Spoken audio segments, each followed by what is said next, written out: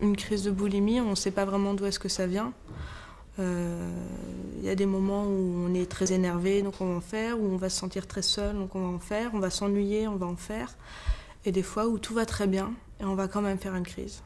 J'avais des troubles alimentaires, donc de boulimie, et euh, pour moi, euh, c'était ça qu'il fallait que je soigne. C'était pas un symptôme, la maladie, c'était la crise de boulimie.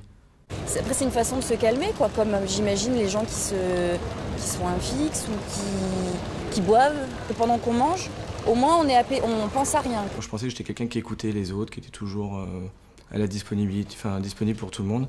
Et je me suis rendu compte qu'en fait j'écoutais personne et j'essayais toujours de me mettre en valeur parce que j'avais une estime de moi-même qui était vraiment pourrie. Quoi. Finalement, on pourrait paraître aux yeux du monde comme des personnes tout à fait normales et, et on paraît aux yeux du monde comme des, des personnes normales. J'avais pas conscience que dans le relationnel avec les, les gens, je regardais pas les gens, je les écoutais pas. En fait, les gens étaient interchangeables. Au travail, ça s'est toujours plus ou moins bien passé. J'avais l'impression de, de communiquer normalement, de parler, j'ai de nombreux amis.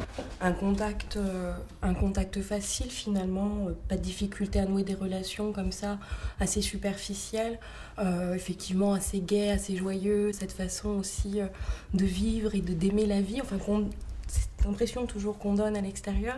Et pour autant, cette grande difficulté justement à être dans les émotions et être dans les émotions vraies. Et le soir, euh, autant de, euh, enfin tellement de, de, de trop plein accumulé et d'émotions euh, mal exploitées que ça explose. Quoi. Par exemple, quand j'étais au lycée cette année, j'étais la super copine de tout le monde, je m'entendais bien avec tout le monde. Mais une fois passé la porte de mon lycée, une fois que j'étais rentrée chez moi, il fallait que je vois personne et la seule chose que j'étais capable de faire, c'était dormir. Parce que c'était trop dur de, de faire semblant, quoi. De, de jouer un rôle. Un truc que je réalise aujourd'hui, comme on en réalise toujours. Euh, avant, en fait, je n'avais pas mis une idée derrière le fait qu'il y a des moments où je devais me renfermer complètement. Il fallait que je, limite, je fermais ma porte à clé. Plus personne, même euh, mon ami, ne pouvait pas rentrer chez moi. Et euh, je comprenais, enfin, j'avais pas mis de mots là-dessus. En fait, c'est ça, c'est tellement épuisant le contact avec les autres, qu'au final, il y a des moments où je supportais plus qu'il y ait personne autour de moi. Il fallait que je sois tout seul, plus de contact téléphonique, plus de contact euh, visuel, plus rien. Il fallait juste qu'on me foute la paix, que je sois chez moi euh, pendant une journée, deux jours, trois jours. selon l'épuisement que j'avais, j'avais besoin de récupérer et, puis avoir besoin de faire cet effort en permanence. Euh, pour paraître quelque chose qu'au final j'étais pas à l'époque. Devenir rouge tout de suite, les larmes aux yeux tout de suite, les regards méprisants, les, comportements agressifs ou les attitudes euh, hautaines, rire beaucoup, me renfermer, les extrêmes. J'avais raison sur tout.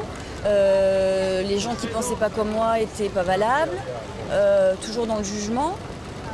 Ça, fait que les gens s'écartent de vous, capables de, passer un repas de famille alors que je les avais pas vus depuis trois mois et puis de ne rien dire d'être là mais de pas être là. C'est la sécheresse intérieure, quoi. C'est le désert à l'intérieur. Pourquoi Je sais pas. C'est la non-envie. C'est une non-envie généralisée. C'est le non-désir, c'est l'envie de plus rien. Euh, tout, tout, analyser. Pourquoi euh, Pourquoi pas La rigidité mentale, quoi. J'étais très très très rigide. Ce qui n'était pas comme moi ou ce que moi j'aimais pas, ça ne valait rien. Moi, j'ai rencontré des gens qui me disaient qu'ils aimaient Céline Dion, j'étais tout de suite très agressive. Depuis toute petite, je récite euh, ce que ce qu'on attend de moi la relation avec les autres. Et, ici, en fait, j'apprends à lire. Après, ça n'a rien à voir avec avant. Enfin, voilà, je peux vous sourire, je peux vous parler, je suis contente de voir du monde. Euh, et puis c'est authentique.